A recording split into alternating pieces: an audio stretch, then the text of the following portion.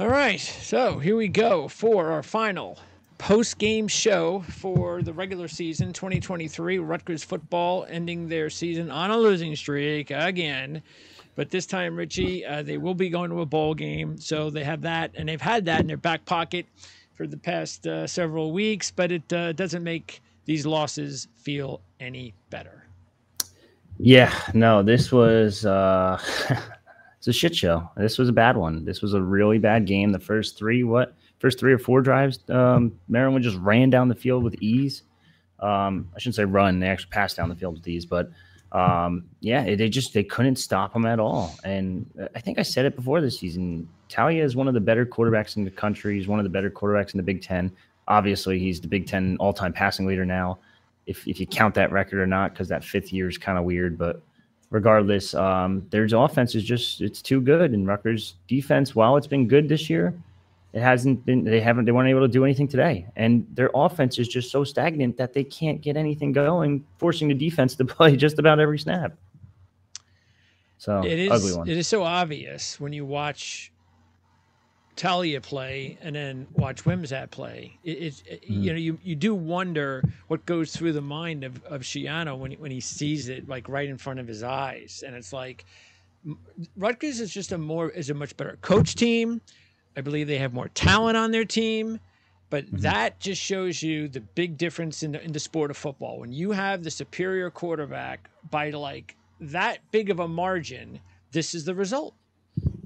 Yeah, it, it's a shame too because Kyle had a hell of a game, and they just couldn't do anything in the pass game, and that basically just made it a non-existent offense for the most part. Like, uh, it's just it's really defeating. It's I guess not even it's it's more so defeating because it's a four a four game losing streak on top of it. But to get blown out by a team that's a middling of the pack Big Ten team, it's just yeah. really not a good look. And I've saw people on Twitter and social media say like hey, once Taulia's gone, they're they're going to take a big step back, and then Rutgers will be more competitive against them. And it's like, oh, come oh, on, like that's what, what, what is that? Like, stop feeding into that. Like, it, it's a bad loss. Like they should have been better, and they they just they looked like they weren't prepared and they weren't ready today.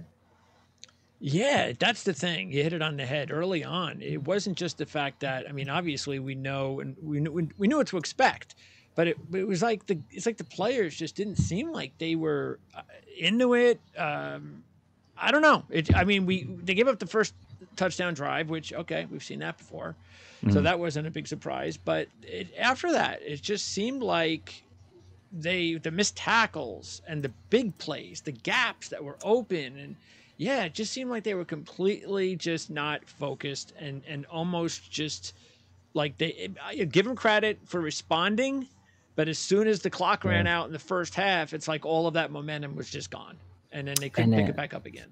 Yeah, and and like I said, they get the ball in their first drive, and it's like three yard run, ten yard run, five yard run. Kyle Monangai looks like his old self again. He looks like he's gonna break that thousand yard mark, and then I think he did on the, the yeah, very next did. drive. Yeah. But uh, yeah, but then all of a sudden, like Wimsatt has like a wide open Sean Bauman, wide open, and he just sails it, and it's like what, this is the first pass of the game. There's no pressure. What what are, what are you doing? And then I, I think I forget what the next pass was, but I think it was like a small completion or incompletion or whatever. And then they got a turnover on downs that drive. And then Maryland comes down again and scores. Then Rutgers gets a field goal. Then Maryland comes down again and scores. And then it's punt. And then Maryland comes down again and scores. It's and it's ridiculous. like, it's like, oh my God. And like the defense was non existent. Like you said, they fought back. So I do give them some credit. And it seemed like they had some life going into halftime. It seemed like they even had some life in the third quarter but then it just fell apart again and it was just defeat defeat defeat and you can't give up 21 in the first quarter and you can't give up 28 in the first four drives of the opposing team's uh, offense it's just you're going to lose 99% of games that way yep Yep, and uh, and and and you talked about it. Like if we uh, look at how this game went, and again, so Maryland scores to, to, to go up seven nothing. So when we got the ball back, and it was uh, second down. So he overthrows the tight end, which would have made it mm-hmm. easy first down. And then uh, we had to go for it on fourth and two because of that. Yeah. And then Wimsatt, I, I don't understand Wimsatt running the ball on fourth and two when you have Monangai. I, I don't understand that because that to me looked like that yeah. was the designed play was we're mm-hmm. going to run with Wimsatt. We've seen it have success before. It's not like it hasn't had some success. So I don't want to second guess the play calling, but it just still doesn't make sense why you. It's Wimsatt is not a 230 pound quarterback. When he has to try mm-hmm. to make room or he has to pull the pile, it's just not going to happen. No, I, I, agree with you, and I thought it was weird because, like, like, I said before, this drive started with a three, 10, and four yard run from Monangai. If he's running that good on third and long, if you're going to do the stupid run play, which I think third and long, like, I mean, sometimes you have to do a run play, but other times it's like, come on, dude, like it's third and long, you got to be able to pass the ball a little bit. Um, but regardless, then it goes to fourth and two. And it's like, what what are you doing? It's Kyle Monangai. The guy literally is breaking tackles left and right every He's other the game. player your team. Yeah, he is your offense, to be honest. Like, and you're gonna run with Wimsatt? Like, it's like, come on. And then he gets stuffed and then turnover, and it's like, oh, here we go again. And then they just drive down the field with ease again. Yeah, there was. Uh, it was fun. It was kind of. Let's see. Longerbeam gets beat for the touchdown.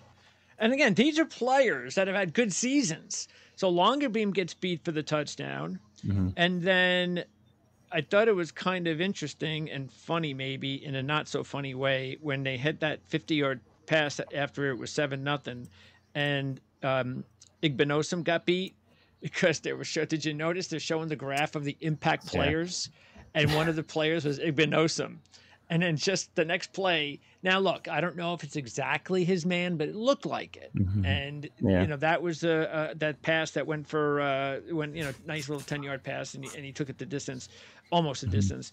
Um, but those are again good players getting beat, um, and then it's just not just we can go over this, but the fact that the, this game was just like uh, it, it, just reminded us the whole season of how many inconsistent off throws Wimsatt had. It's like he did it all in one game. Mm-hmm. His pass accuracy in this game was as bad as we've ever seen it, and it came the week before, a week after he played one of the best games that he's played. Yeah, I the announcers made sure to bring it up every every other minute. It was like, well, Greg Schiano just said last week was his best game ever as a quarterback passing the ball, and it's like, yeah, and then what do you go, thirteen of thirty three? 13 like and 34.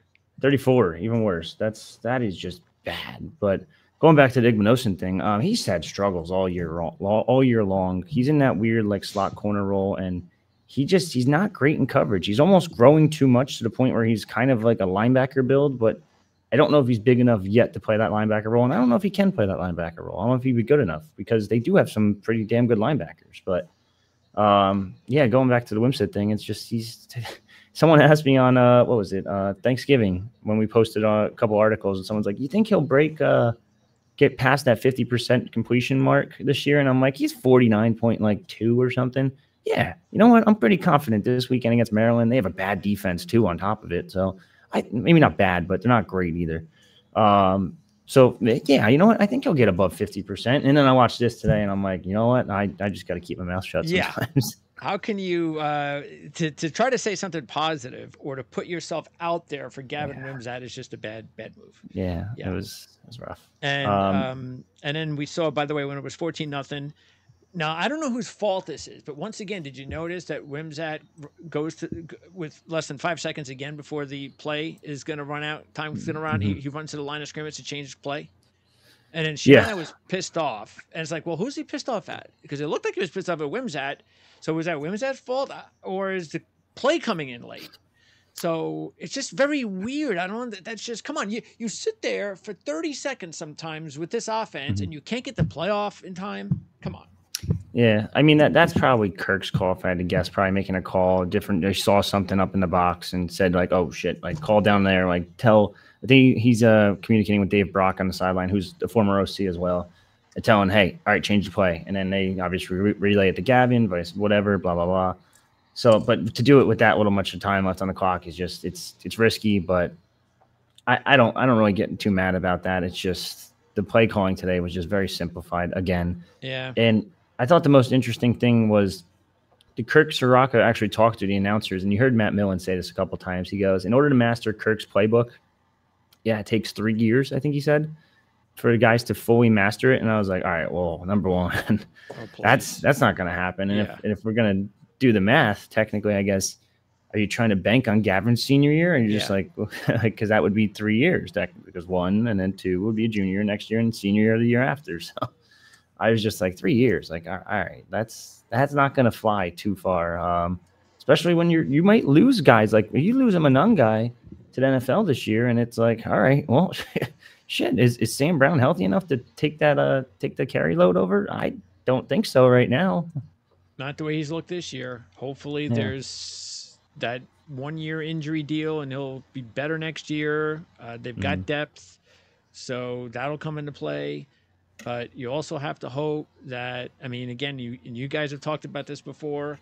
Like when you're looking at receivers, which receivers, especially transfers, forget transfers, you Mhm. can recruit receivers because they know Wimsatt won't be here much longer but it's hard to bring in transfer receivers if you need any because why would they want to come play for Rutgers with Gavin Wims at a quarterback? I mean, why? Yeah, no, I, I agree with you completely. You watch a guy, if you look at the stats and you go into spring ball or say, like, I mean, yeah, you're going to have to recruit transfers probably in December as soon as that portal opens uh, for the first window.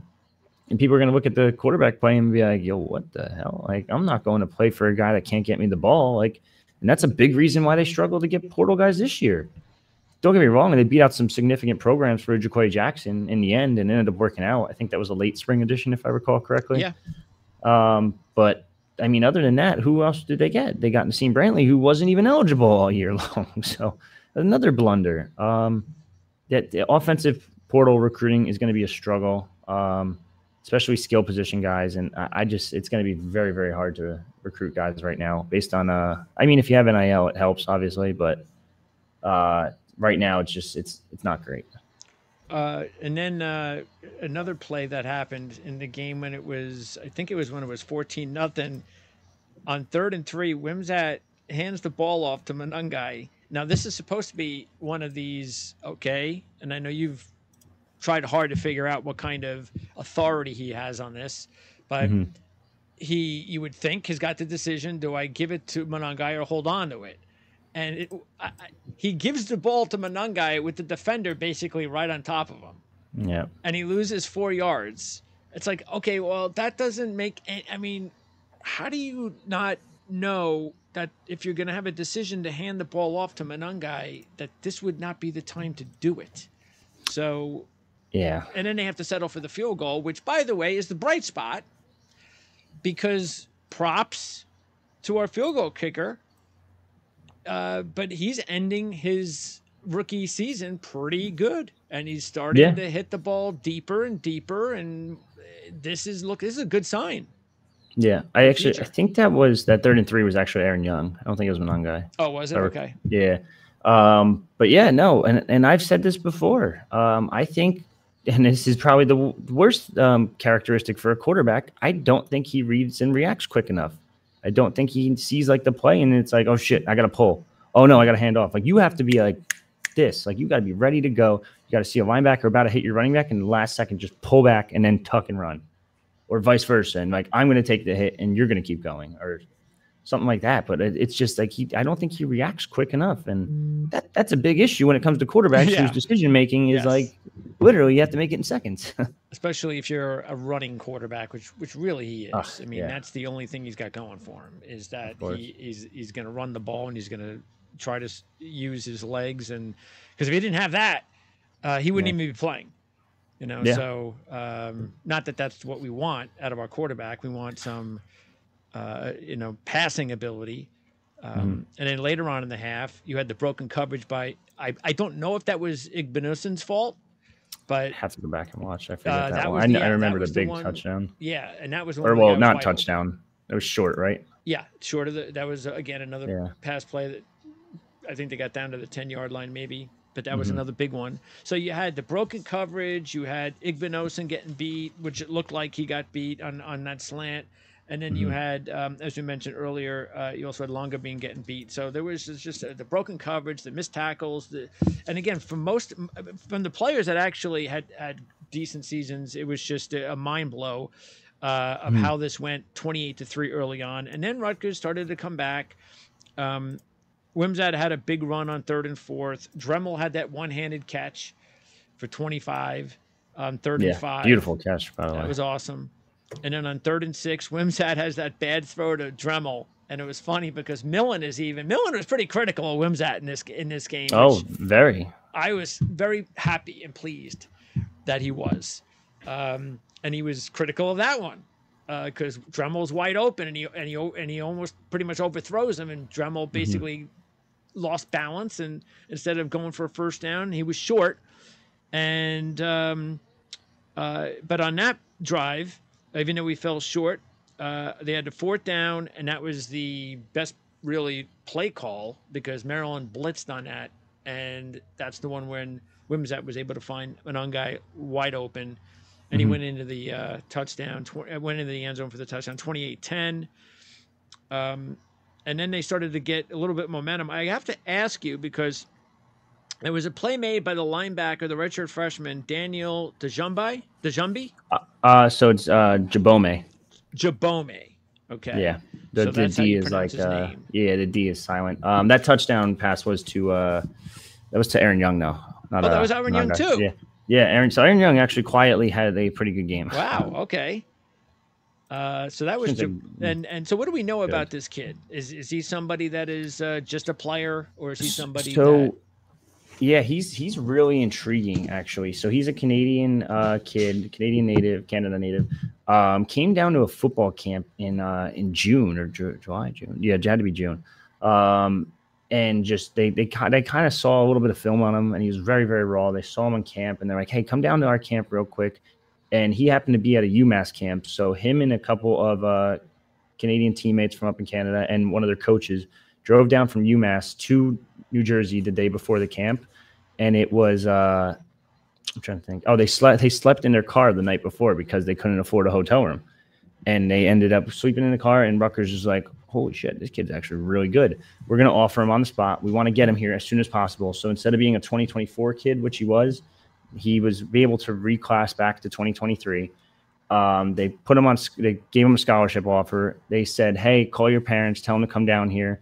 it's an official visit now for the weekend. So that means it's all expenses paid and your parents can come visit too. Parents came down to visit for the weekend, got him committed, good to go, showed up in camp, and he's just been a force uh, ever since. wow. Okay. Yeah, well, that's ve- good to very, know. very cool backstory and a very, very good player so far. It seems like. Excellent. Yeah, he seems to have pretty good size for the position as well. So I, I take it back. I might have said 2023. I think it was a 2022. yeah, 'cause I Yeah, believe he's a redshirt that's what it was, freshman, yeah. right? Yeah, yeah, Okay. yeah. So then he redshirted a year, obviously, and then That's does good. all this. But he's Yeah. he's been making noise even his red, uh, freshman year too, redshirt year. Great. Yeah, we can use all the help we can get. Uh, uh, and um, how's that unit going to look next year potentially? Um, I think it's going to be pretty good. Uh, I think you probably Ray technically has another year. I think you probably lose him still, just because um, it's, it's what year four going to be year five, may actually maybe year six because the injury year. Um, I forget his exact um, dates, but he does have one year left of eligibility. Um, he is a father. I mean, he's can go to the NFL right now and make some significant money. Yeah. I wouldn't blame him one bit. I would probably leave personally if that was my opinion. Um, and I don't know how much more he can really raise his stock. He's proved he's a good edge rusher. He's proved he's a linebacker now. Very versatile. So Yeah, I, I think this is probably his his peak in terms of NFL stock. So a guy that's already had an ACL injury just proved he could play a whole season. I wouldn't risk it, but we'll see. Um, Deion Jennings is gone. He's out of eligibility. Uh, Tyreem Powell could leave and go to the NFL. I don't know if he will now because of the uh, the injury. I think that hurts his stock, uh, obviously, and I don't know if he'll be healthy enough by the time like Yeah. um, all these these camps or not camps, um, the combine and all that other stuff and all the training stuff and I don't workouts, all that good stuff. I don't know if he'll be able to do most of that. So, I mean, I'm sure he can do some of it, but I don't know if I would risk it and come back one more year, prove your worth again. You probably play yourself into day two if you're if you're good enough next year. Absolutely. So. Yeah. And then uh, they got a couple four stars that are coming in. Like Moses Walker is really good. Um, he's an up and comer. You saw Djabome today is pretty good. Uh, Jameer Wright Collins, we haven't seen in a couple weeks since that stupid Yeah. uh, targeting, not targeting call. Um, yeah, he's he's been solid. They're, they have they have a lot of guys lined up, and they're kind of just stacking on talent on talent on talent. To be honest, there. Yeah.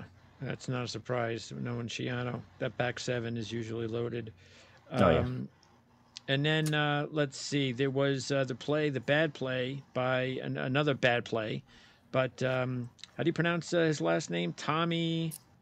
Uh, Amankwa. There you go, Amankwa. Tommy Amankwa yeah. had that third and twelve holding penalty, but mm-hmm. even though that looked like that killed momentum, and Maryland wound up with another big play uh, mm-hmm. down to the Rutgers 17. On the next play, Dixon stripped the wide receiver, and they recovered the fumble uh, with four minutes left and a half and yeah. um, they were able to um, at least stop that potential uh, touchdown drive there. But then mm-hmm. we saw another wide open Dremel that if he throws the ball to Dremel instead of just throwing the ball to a covered, I think there was Jackson. Yeah, Dremel not only catches the ball, but who knows?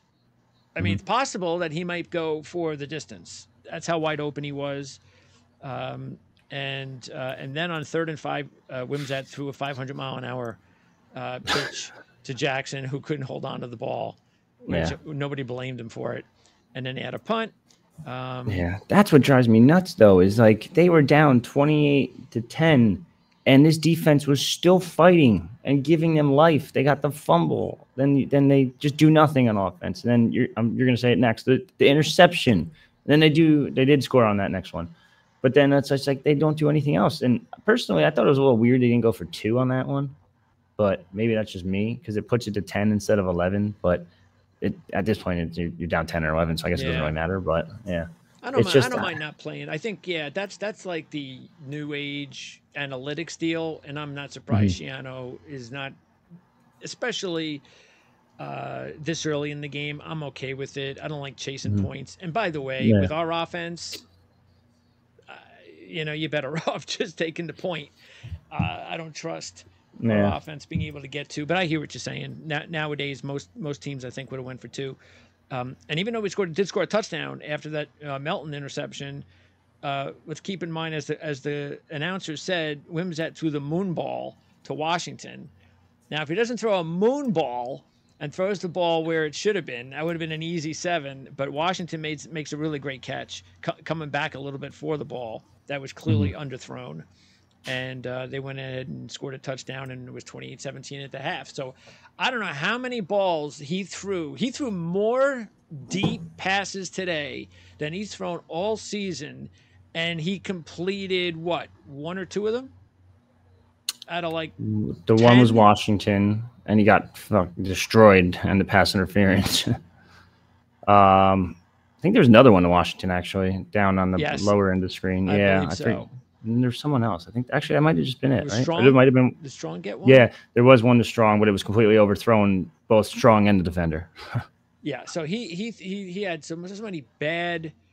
I mean, there. I don't know what the chart says, but the chart probably oh, says oh, over 25. He's he was probably one or two for 10 or something like that. So, yeah. and the thing is, it's not even close. No. I mean, you would think that, all right, at some point, the more he throws these deep balls, they're going to get a little bit closer or he's going to give him a, a, chance to catch the ball, but mm-hmm. they don't have a shot. So, yeah. Anyway, that was really it. Nothing really happened in the second half because as soon as yeah. Rutgers came out, went three and out, Maryland scored the touchdown. You know it was over. Even though Maryland uh, Rutgers defense did a really good job for the entire half, basically, of mm-hmm. holding Maryland and giving Rutgers time in and time out opportunities that they just uh, did not take advantage of. So yeah, um, we do have a couple super chats. I did want to shout out. Um, George Forbes uh, sent us a super chat. Didn't no uh, no message, just super chat. So thanks to George. Um, HJG, who's been a uh, longtime follower of the show, I guess since uh, since we started this in, this season. Uh, he said, "Well, today sucked. I enjoyed the show this season. Thanks a lot, guys." And then uh, Jordan said, "Rich, how attractive is are you to a quarterback transfer? Do you think? How much money do you have? If you have enough yeah. money, you can go buy one pretty pretty yeah. easily. We need one year um, guy. That's all we need yeah, is a one year guy. So someone someone go take out a mortgage real quick, and then you can get get a pretty good quarterback. You know, there's, was, there's some lower level guys that are out there already there are. that, are, all, that yep. are pretty pretty pretty good that have FBS offer Power Five offers already. Like I know the New Hampshire kids already got Power Five interest from about 12, 15 schools. I was talking to him yesterday. Um, there's the Matt Sluka kid from Holy Cross who's probably going to follow his head coach wherever his head coach goes because there's rumors of that going him going to the Power Five level. But kids like super accurate. These kids are throwing like 65, 68% completion percentage. And I'm sitting over here watching a kid throw for 48. It's terrible. like, I might know. be- I might be watched in the. Illinois Northwestern some of that game, and I'm realizing that here's two teams, Illinois and Northwestern, Hmm. that should not be better football programs than us. I, I think in the next year or two, if, if things keep going the way they're going, we should be better than them.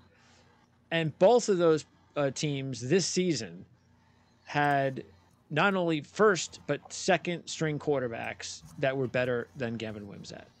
Both of them. Yeah. So, uh, actual fun fact: now that Northwestern did get that win, um, they are Rutgers is now one and forty-four against opponents that have a winning record in league play. Yeah. Oh, That Okay. Rutgers that, that was also Rutgers' only win over a Big Ten team that has finished the Oh. season with a winning conference record. That's what Oh. it was. I'm sorry. that's okay. So that was Yeah. the one win. Yeah, this year with Northwestern. with I, I, I'm, this is from Brian Fonseca on Twitter. He said, "With Northwestern improving to five and four in league play, Rutgers now owns a win over a Big Ten team that has finished the season with a winning conference record. Yay. The Scarlet Knights are now one in 44 against such opponents since they joined the league in 2014. All right. That is a stat and a half, It shows you how far we have to still go. So and that, that's that's an interim head coach. My oh, he's full time head coach now, but yeah, yikes." Yeah, a completely different team from the team that uh, we played early on in the season. So Yeah. Yeah. Uh, and and you, you said it before, like other quarterbacks, like other teams are having these great quarterback plays. Um, look at uh, who was it today? Purdue. There's a big argument on our board all all off season long about how Hudson Card and versus Gavin Wimsatt, who's the better quarterback? Well, Hudson Card just torched Indiana for 275, three touchdowns, 21 of 34, and and also ran for 85 yards and a touchdown. So, I mean, oh, there's no argument. I mean, who's arguing? uh, there, there was a huge one this summer on our boards, and it's just like it's it How just they- I drives mean, me nuts on. because the argument's there were- over. the thing that really drives me nuts the most is that there were people, there beat writers that were saying Gavin Wimsatt looks super improved this this fall, this camp. I I, I watched every practice. You you don't understand. He looks great. He's gonna have the best season ever. I, I'm like, what? Are we watching the same thing? Yeah. Because I just saw him do the same thing all season long that he did in training camp. It's not. It, it you can't fix accuracy. I'm always going to be in that boat, guys. and that's that's it. Like this man's got five guys wide open, five yards in front of him.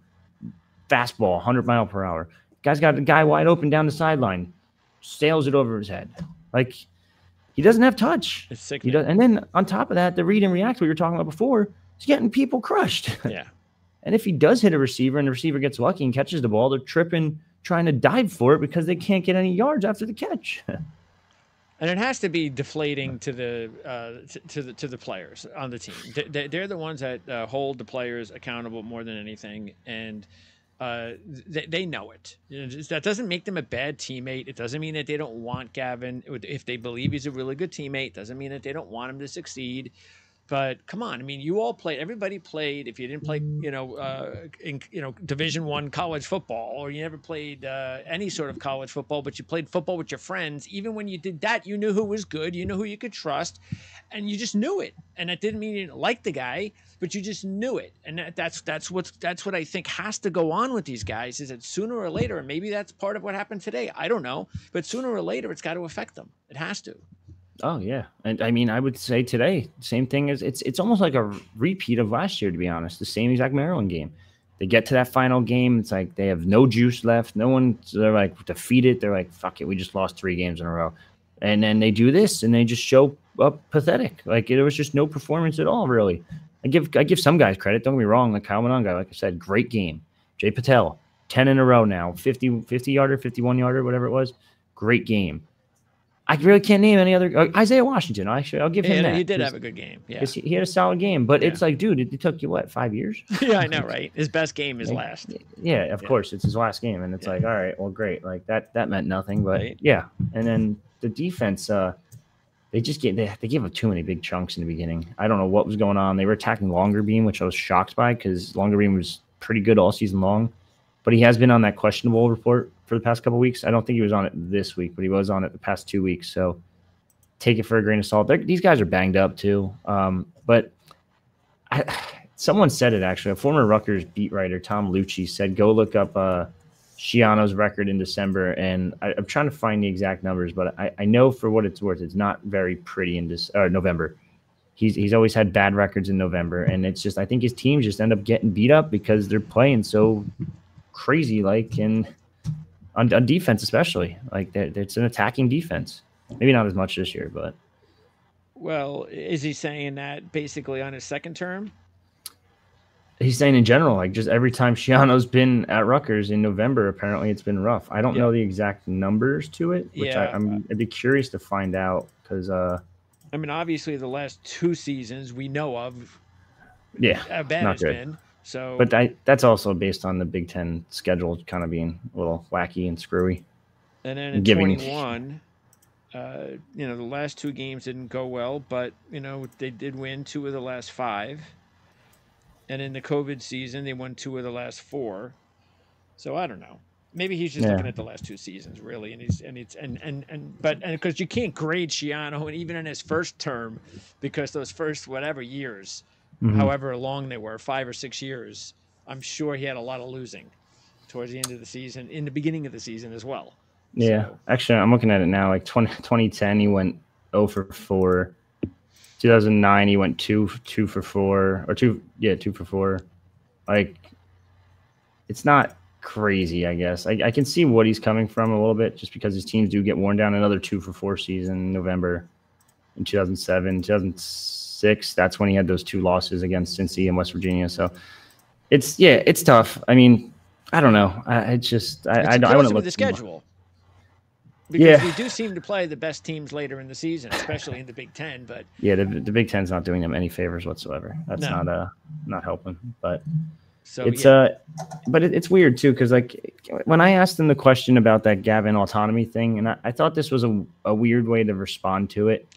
Um, because I was like, hey, like does Gavin have the autonomy to kind of like, and I probably asked in a poor way because I, I did mention like inside zones and inside reads and he was like, I'm not going to give up the plays, but like if I told you in June we'd be six and three going against Iowa and down six in the fourth quarter, would you take it? And I was like, I mean, yeah, I guess, but like I also want to like tell you expectations kind of change. Like, yeah. like you can get to that bowl game. Like it seemed like once they got to the bowl game, that was like, all right, that's our goal. We got to the bowl game. But you could have got more than the bowl game. You could have got seven wins against Maryland. You could have got an eight win against uh, Wisconsin. You, hell, you could have got a ninth win against Ohio State if I, anyone else was out there. Like, it's, yes, it's, that's the point. If we had a quarterback, maybe we win the game against Ohio State. Maybe we even win the game against Penn State. Uh, we just don't have it, and so the expectations are just not there. I, I can't imagine, and again, that's what it goes back to. I wonder what kind of expectations even the players have of when they go out there and they could say what they want about chopping and and and you know everybody's uh, confident but how confident really are you that you're going to be able to pull these games out with this quarterback? And I'm sorry, but that's why special quarterbacks, that's why they're special. Not even special ones, but good ones. That's why you, they rally around the good ones because mm-hmm. they lift up the team. Well, what do you think the bad ones do? They do the exact opposite. Yeah. They bring the team down. They give the team uh, it's like a bad shot in the arm. It's just it's it's depressing and if you think we're depressed as fans, I mean, they are too. I know they're closer to it because they're friends and these are their this is their family. Um, but they feel it. They feel it like we do. And now that's why it's up to the coach. It's up to the coach to uh, find the right guy. And it can't be like this again next year. It can't. Nobody yeah. wants to see this. Nobody wants to fast forward to the beginning, the opening kickoff next year, and watch Gavin Wimsatt stand there and the opening play and look around for 25 seconds and do that nonsense again. Nobody is going to stand for that. Nobody. Yeah. Well, the good news is it's Howard next year to open up season, so you get you get a nice little win. Um, but yeah, no, uh, we do have a new uh, super chat too from Delmarva Fishing. He said the game was so bad, but I decided to go to work for overtime at halftime. Smart. Um, smart man, go make that money. Do you think uh, Taulia is the best quarterback in the Big Ten? Thanks for, for TKR shows. They've been awesome for long drives at work. Um, yeah, I'd say, I, I, I think it's hard to argue otherwise. Although JJ McCarthy looked pretty damn good today. Yeah, McCarthy seems to. So, uh, It's, close. yeah, it's it is big because it's like it's you know like it's like basketball. It's like you, Hmm. you put a, a- star player on a on a mediocre team or a, pl- a good player on a mediocre team and he looks like a star, but then Yeah. you put him in the spotlight and they have to play the big games. You have to make the big throws, sort of like what JJ was doing today. And can Mhm. he do that? Well, we don't know. That's the thing we don't know. We'll find out at the next level. Maybe he'll be a, a draft pick, and because there's going to be a deep class of, of quarterbacks, and he's Oh, going to yeah. be part of it. So maybe he's going to be a hidden gem, or maybe we're going to look at it and go, yeah, but uh, he he was just it just looked that way because of uh, the team he played for. But I, I, I think that he's going to give it a, I think he's going to give it a go as, as a potential starter to the next level. I think he's that talented. So yeah, Yeah. I, I, I think he definitely.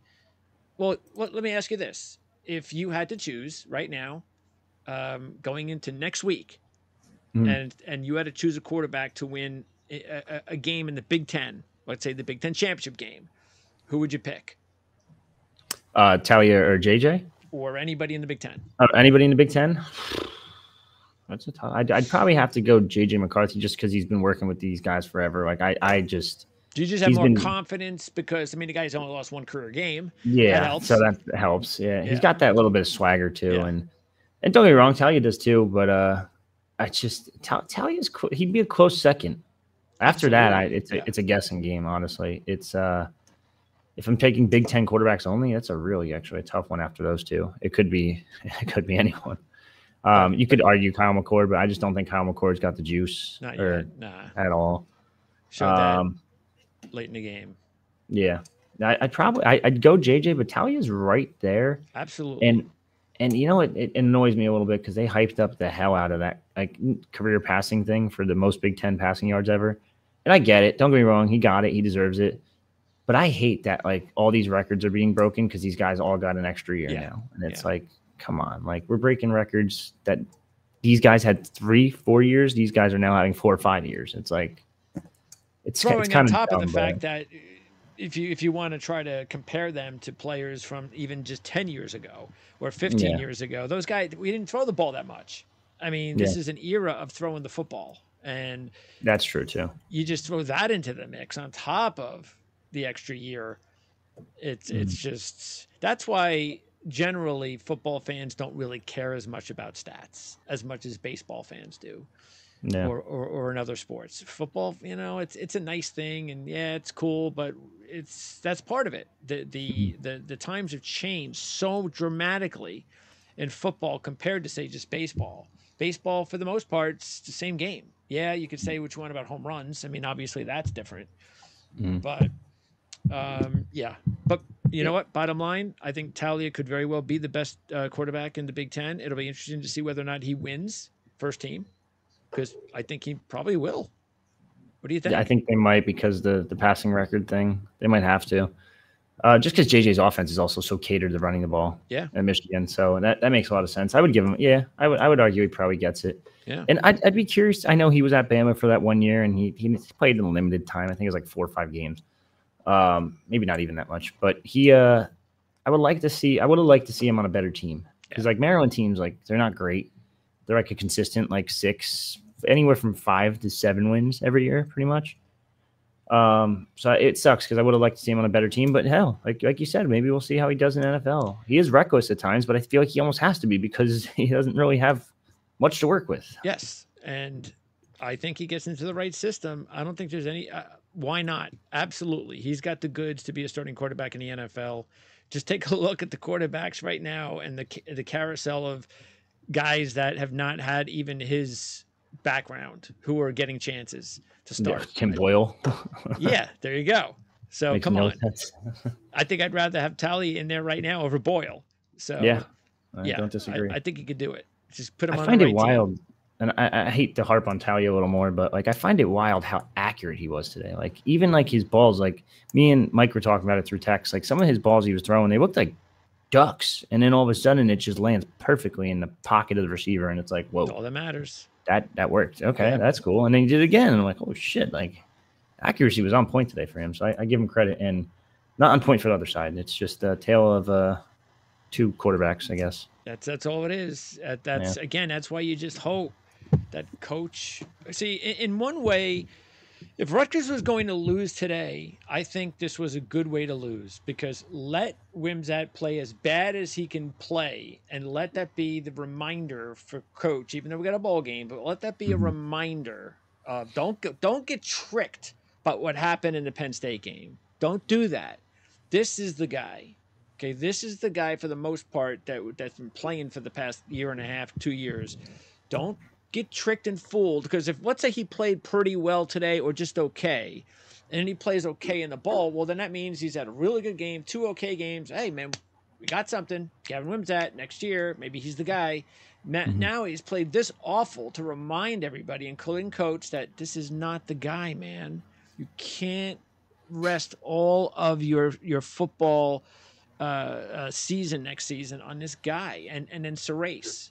You have to have a veteran in there just in case, because like again, we think there's a possibility Surace might be able to be ready, but if he's not, then if it's Gavin Wimsatt or bust, it's just it ain't gonna work. We know that.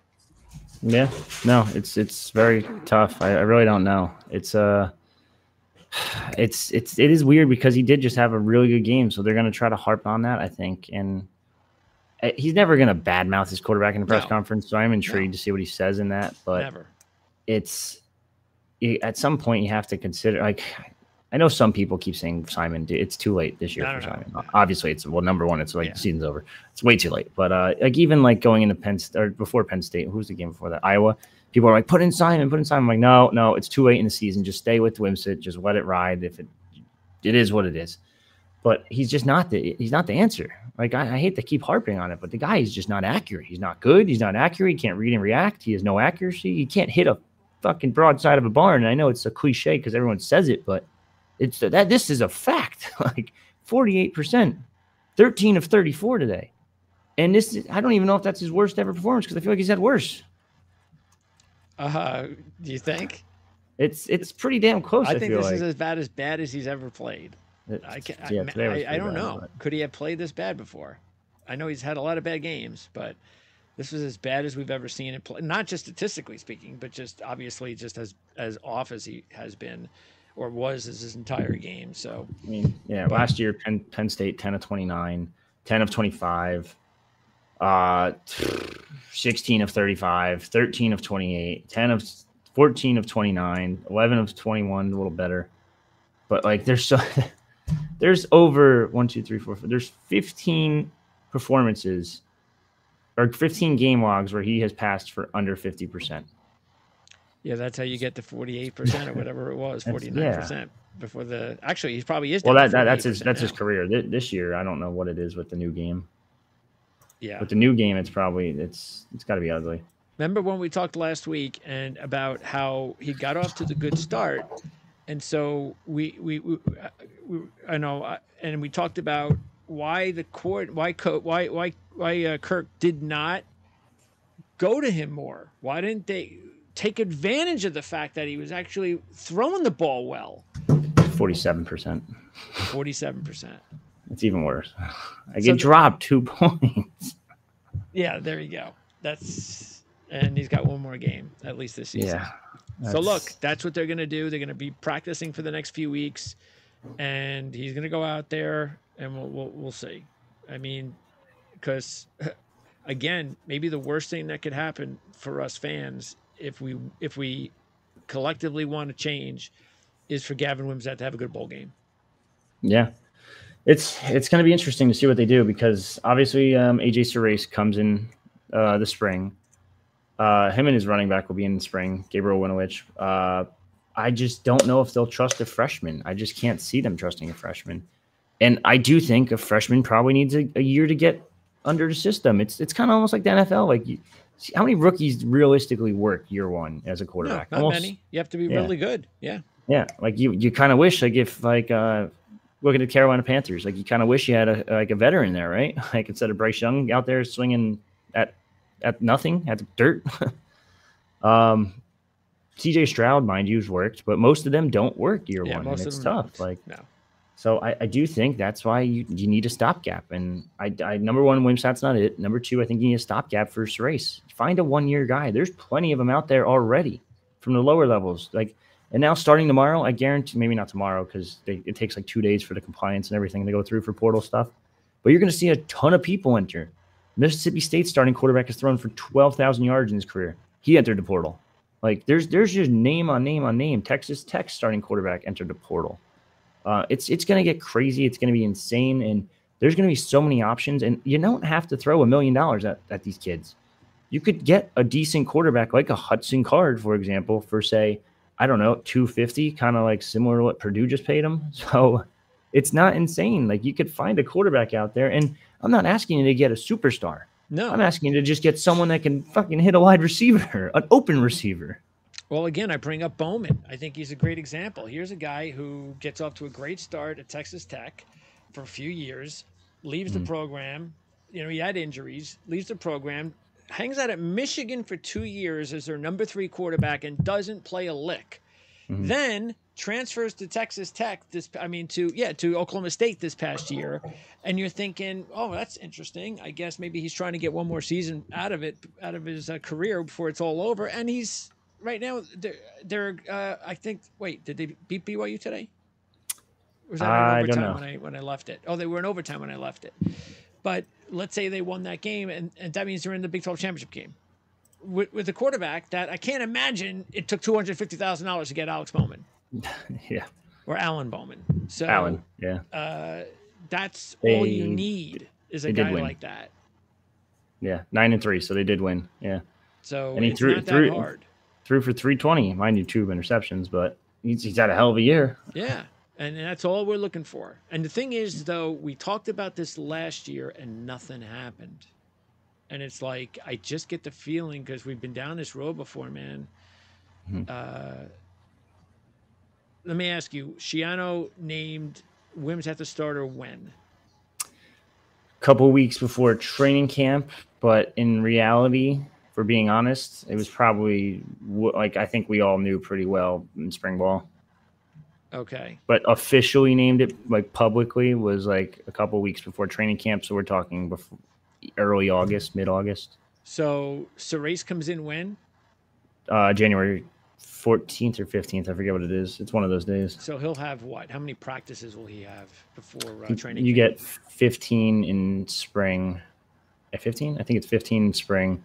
Okay. And then you get uh you can work out with your players and strength and conditioning coaches all summer. You can't you can work out with the coaching staff like once a week during some weird summer eval period.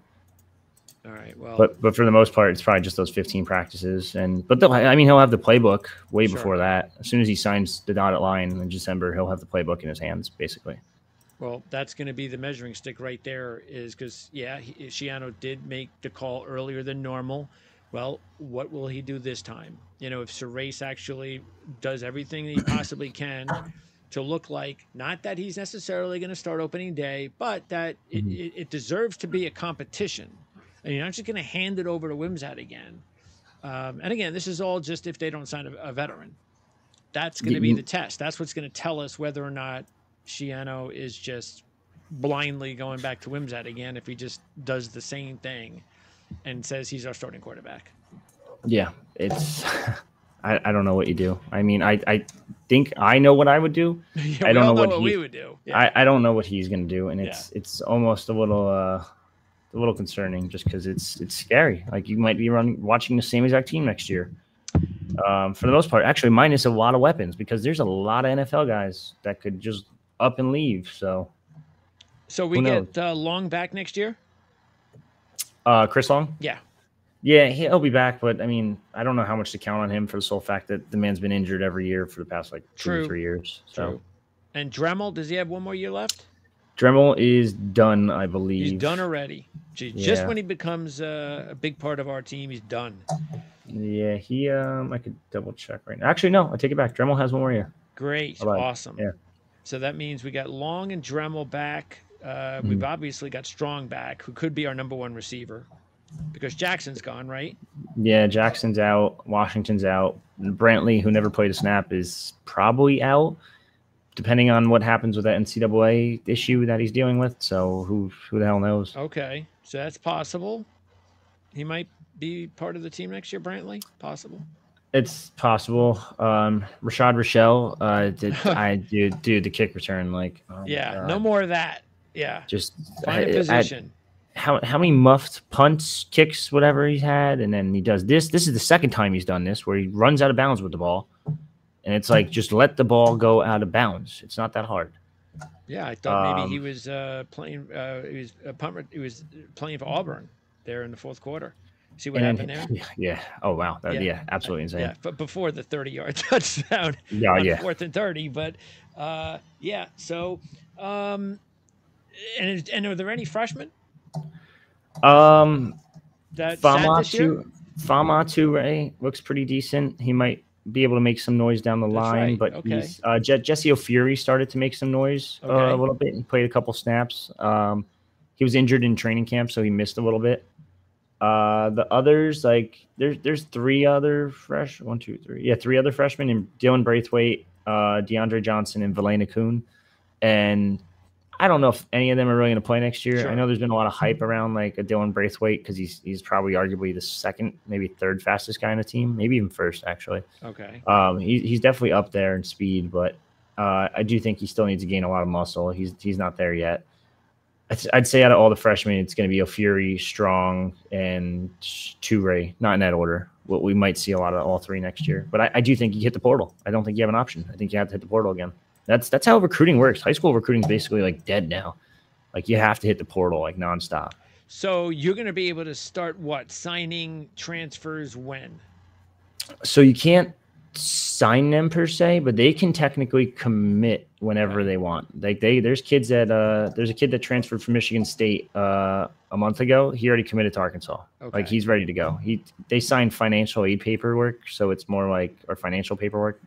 Um, so it's a little tough. Like, and then on top of it, like don't discount the fact that schools are going to be reaching out to Rutgers players starting tomorrow morning. That's yeah. tampering is in full effect. There's yeah clearly no rules, like because the NCAA hasn't like issued any like yeah they've issued warnings, but they haven't done shit else. Like they they haven't done anything at all. Like yeah. you were allowed to do basically anything and everything you want. And from what we've been told is this team is going to get phone call after phone call after phone call. I'm sure someone's going to call Aaron Lewis tomorrow and be like, "Hey man, how much to come down to the SEC?" he might say I'm good and might be a good guy because he's a, a New Jersey guy and he, he's already left school or left New Jersey before. But then there's others that might be like, yo, like you got 300k, like I'll I'll leave right now, like. Yep. so and Melton has one more year, but chances are he's gone. I think he's gone. The way everything was today, there were signs from his family. They he went and celebrated senior day. I'd have to guess he's probably gone. Um, they already started following and reaching out to a couple different uh, cornerbacks in the portal. Okay. So something that I, I can't imagine they would do that with Melton returning, especially when you still have Longerbeam and Rogers and a bunch of other guys. So I, I, I do think they're probably going to go to the portal for that one, and I think Melton's gone. And that should be and that should be a position that we should have no no worries about because if there's a position that uh, any recruit, um, any transfer would understand mm-hmm. that you, you go to Schiano, you go to Rutgers, you, you, you're there for a year or two. That's a great springboard to the NFL. So, yeah, I mean, look at uh, look at Trey Avery, look at Flip Dixon this year. He just played himself into a draft pick if he leaves, and he still has a year technically. Yep. But but again, it's a guy that I don't know if he can get much better than this season. So I, personally, I'm taking the money and I'm out. I'm not risking injury. But uh, and, uh, yeah, um, Pierce. If, Pierce has Pierce. another. He has another year. I don't know what he's going to do. I think he has NFL potential. He looked pretty bad today. Yeah, we do seem uh, to le- lose qu- quite a bit of linemen in our final in their final seasons. Yeah. They seem to leave Jonah Jackson, uh, O'Neill. It's the highest paid uh, yeah. Uh, thing in the market position. Can't even think of the thing, the name. And that, yeah, of course, is the biggest need. Is that offensive line? Yeah, and you lose Dunlap and Sutton, so like your your right tackle is gone, your right guard is gone. You might lose your left tackle and Pierce. You return Zilinskas, who has another year, another two years. Um, who am, who am I missing? I'm missing someone. Oh, Bryan Felter still has another year technically. But he had a good year too. And there's no guarantees. He wasn't a starter beginning of the season. Like, is he a starter next season? Who who knows? I think uh, it's gonna be weird. It's gonna be a weird team next year. Well, look, it's a bowl season, and there's lots of positives to that. That'll help because uh, if you thought it was hard for Rutgers a couple years ago, which it was uh, when Schiano first got here, and as bad as the state of the program was, well, it's just got progressively better. And the better it gets, the easier it gets. Not that it's going to be easy, but the easier it gets for us to go out and. Oh, shit. Whoa, what was that? Sorry, uh, dog gate fell. oh, the dog gate. Yeah, sorry. So, well, probably sounded a lot uh, more vicious to you. Yeah, it just it just yeah. startled me. I probably looked like an asshole on this video. so um, yeah, I think that'll help us. So, uh, but look, um, I think we have a good enough team. That's why we've we've spent a lot of time on this show about Wimsatt because we have a good enough program now, and I think we'll be a good enough program mm-hmm. uh, and team next year that it's all going to come down to the quarterback position. And uh, are we just going to be settling for another five or six win team next season, or are we trying to do something better? And that's uh, we'll, we'll find that out. Coach is going to di- dictate uh, that call on whether or not he brings in a transfer.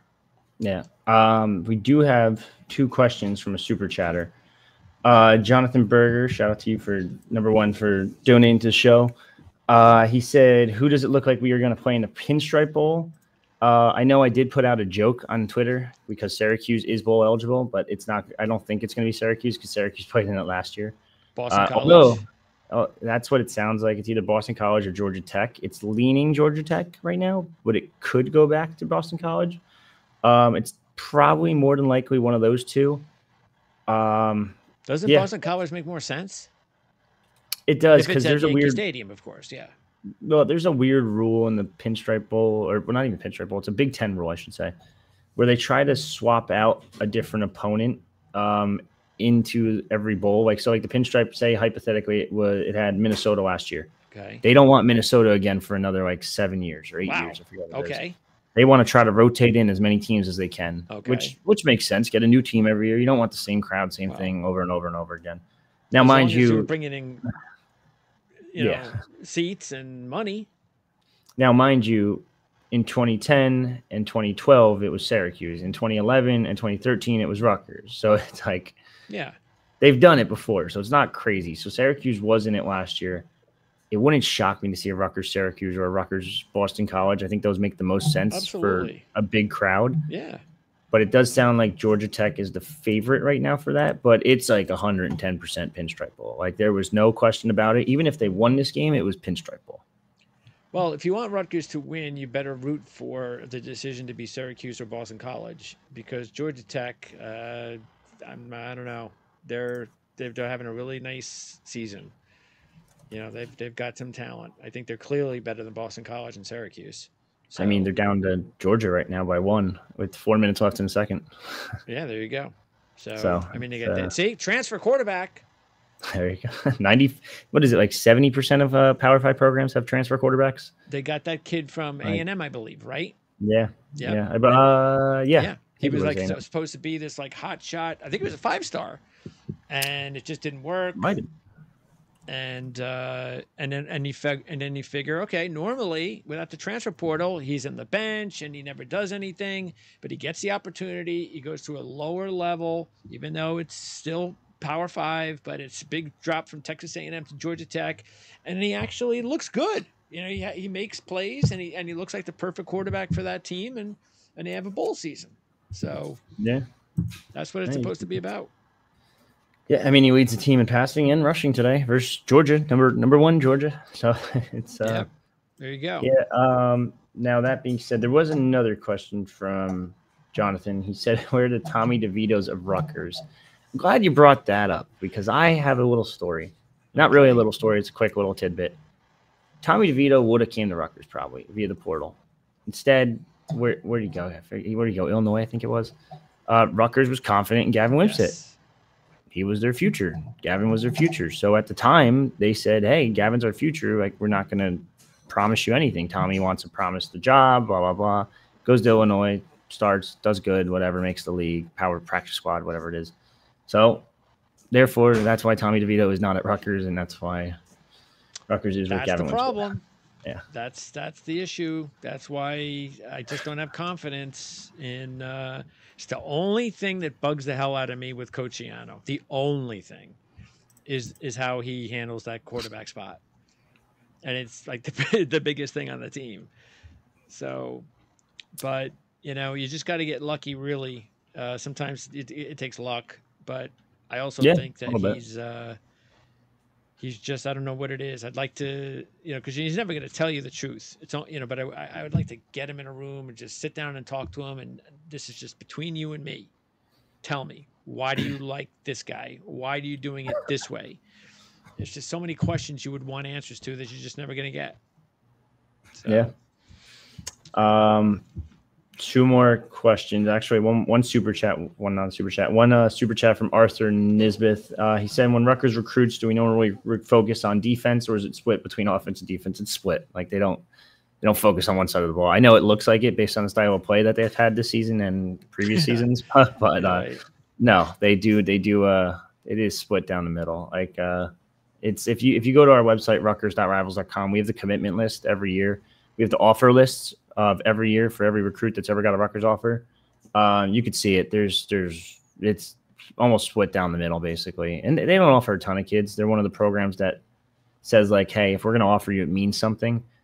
And it, there's different strategies to it. Rutgers only sends out maybe 120, 100, 100 offers per year.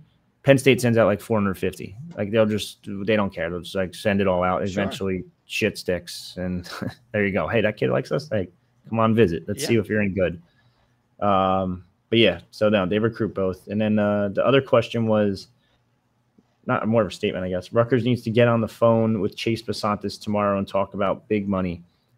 Chase Basantis is probably not going to come to Rutgers unless you have like five, six hundred k.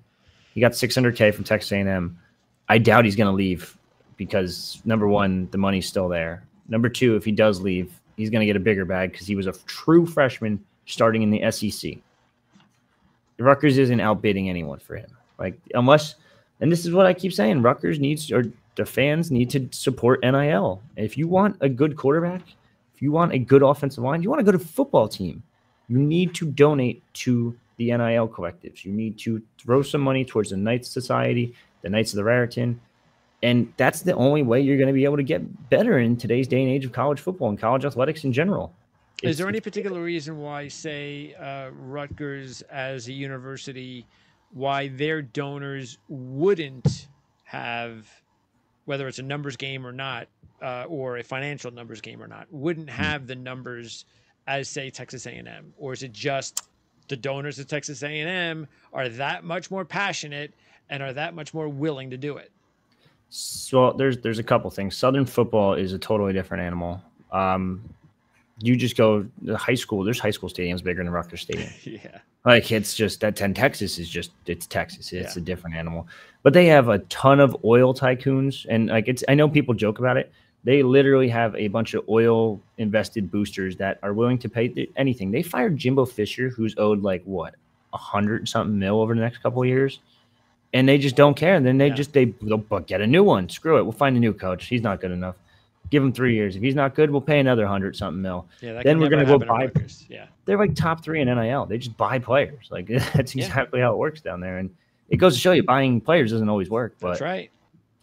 um, that's one of the issues. So and then Rutgers, Rutgers just doesn't have donors in general. It, honestly, the Northeast is right where they're located. It's a professional sports area. You have the Jets, the Yankees, the Mets, the Giants, et cetera, et cetera. Every, Philadelphia is this way, an hour away. Everyone's just it's too many pro sports teams in this area, so there's not enough support for college athletics. First off, second off, people don't want to support a team that's not winning. Now that they're starting to get wins, you're see, you're starting to see the crowds fill in more. You're starting to see a little more Getting there. support NIL wise. But they when they were sucking, no one wants to go Sure. like throw money at them. Yep. So it's uh and then on top of that, Rutgers is number two, the second lowest endowment in Big Ten, only behind the school that they played today. So Okay. it's it, they need to get the students more involved and get them back to donating back to the university somehow. I don't know how you personally do that. I think it's one of the hardest things you can do to change that narrative about donating back, but you have to find a way. Well, again, winning does. Uh, that's where it, literally where it starts, uh, because Yeah. then you uh, all of a sudden you start watching the games more, and then you start having an interest, and then all of a sudden it's like, hey, yeah, yeah, okay, I, I, I- I believe in the coach, I believe in what they're doing. Now maybe I'll put my uh, money where my mouth is, kind of thing, and where Mhm. my heart is. So that's definitely, and like you said, because it is a professional area, that's what it's going to take. And I think they could get there. And I understand. Look, it's not like this is Clemson where uh, you're not, you don't need. And I'm not saying Clemson didn't need it, but uh, they could still win big time football and still be competitive more than Rutgers without getting transfers. But Rutgers, I think they could still. I think they could still do it as long as the, the way they have it set. uh, Obviously, again, I think that the more they win, the more the, mon- the money will come. But because I'll just say it again, if they just had one player, a quarterback, it would just boost their talent overall that much better, and the the progression that they need to take to become even a, a more of a winning program, like they were when Schiano was here before. Uh, it fast forwards, and I think then all of a sudden, uh, people get more interested and so forth and so on. So they just that's why it's so frustrating because you just know it. You just you know they're close, and you just got to get that quarterback. So Yeah, that's that's the big difference maker right now. But because I like Makes the way sense. Schiano uh, uh, builds the program and the way he does, like you said, there's a limited amount of uh, scholarships because of the, or, or, or invites because of the fact that he's looking also for a certain type of player, and he's just not going to throw money at players because he doesn't want to have a, a program like Texas A&M.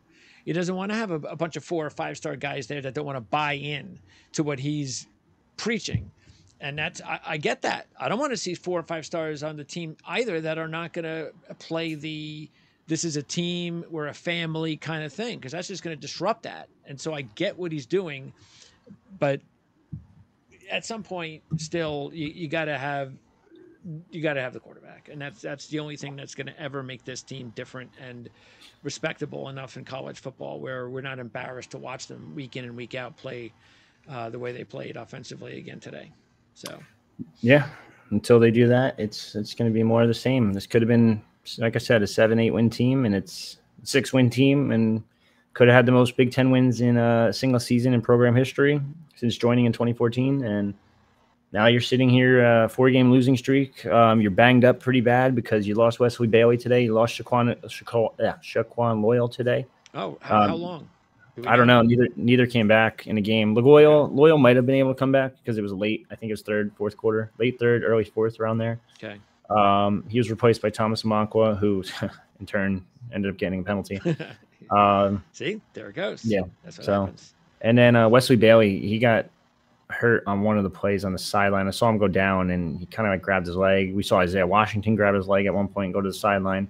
So this team, on top of everything, is banged up going into this bowl game. Um, plus, if it is Georgia Tech, who's putting up hell of a fight right now, um, it might just be an ugly one too. So Yeah.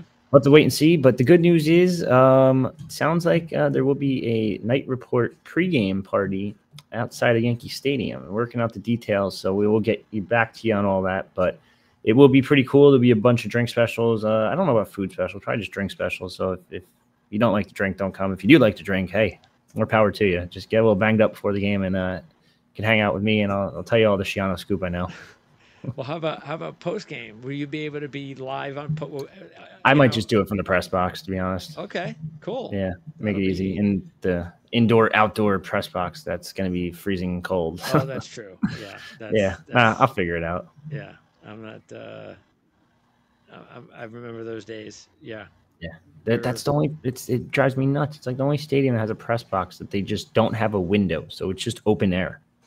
It's like what? No, what are we doing? Like cold as hell. I guess baseball, summer, fall, whatever, Well, but still, like October. yeah, That could be cold.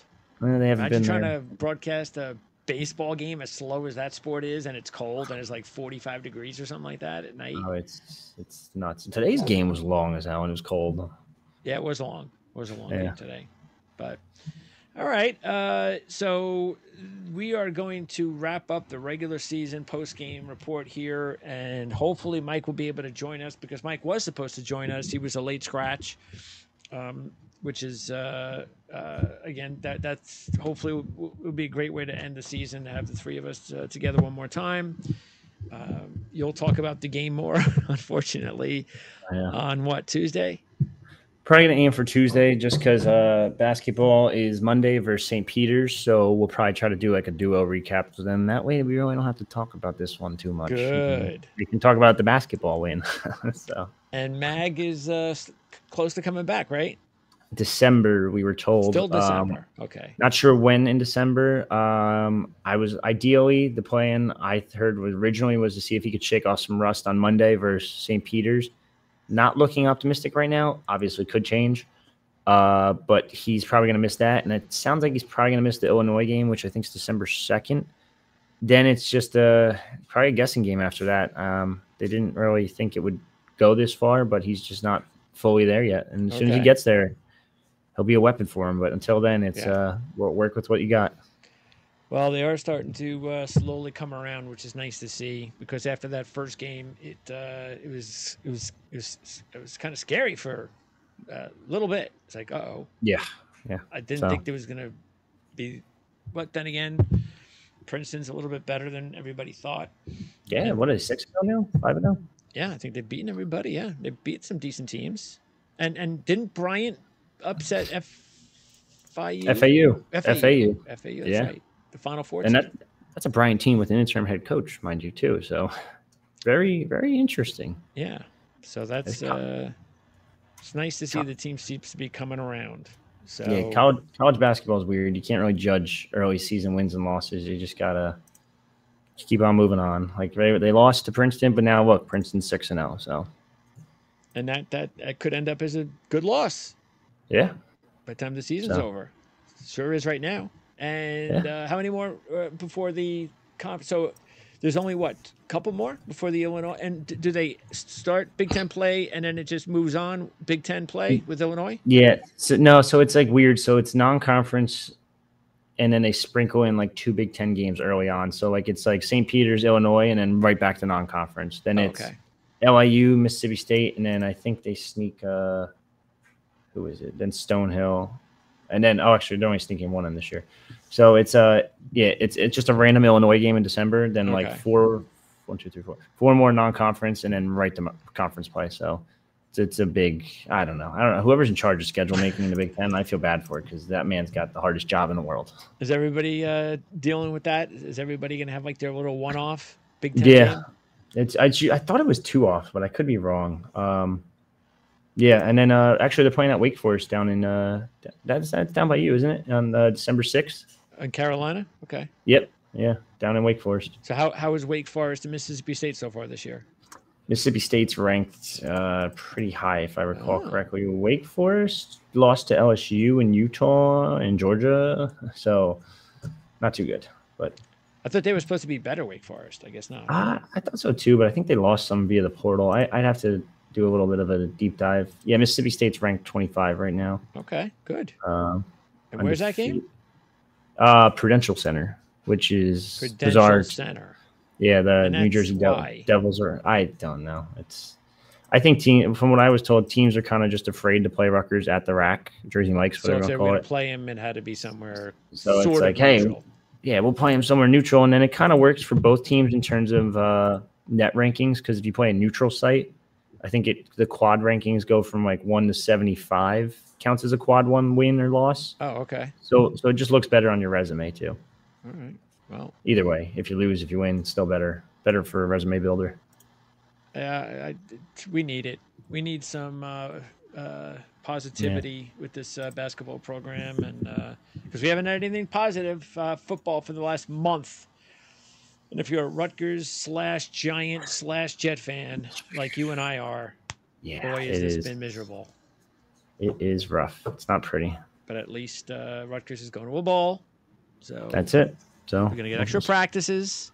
Yeah, that's that's gonna be big. So, and uh, we'll, we'll have all kinds of coverage on the site of those practices. There you go. Um, do have to give a little shout out because we are running a special for Black Friday weekend. I guess you want to call it that. Into Cyber Monday. Actually, not into Cyber Monday. Till tomorrow. Uh, till tomorrow at midnight, you can sign up now for Rutgers Rivals for seventy five percent off.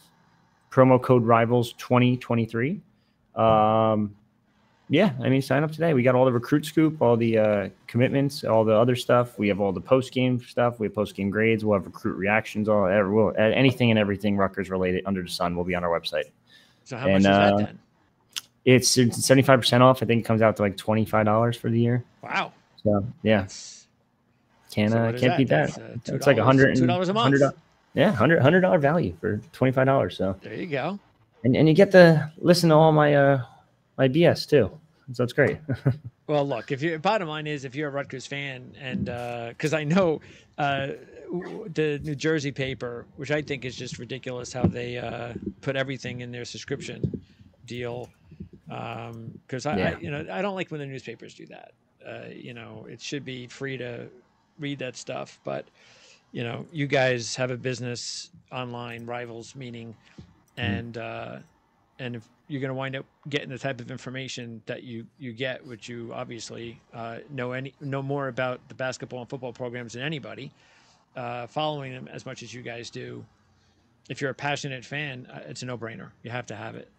So, yeah, I know. Uh, I know I'd feel lost without it because again, that's what I'm saying. What do you? What would you do? Rather pay? What is it? NJ.com you know, or, or pay you guys. And I think the, the, the especially with that 75% off, I'm assuming it's probably very similar. The amount of money I mean, we'll spending.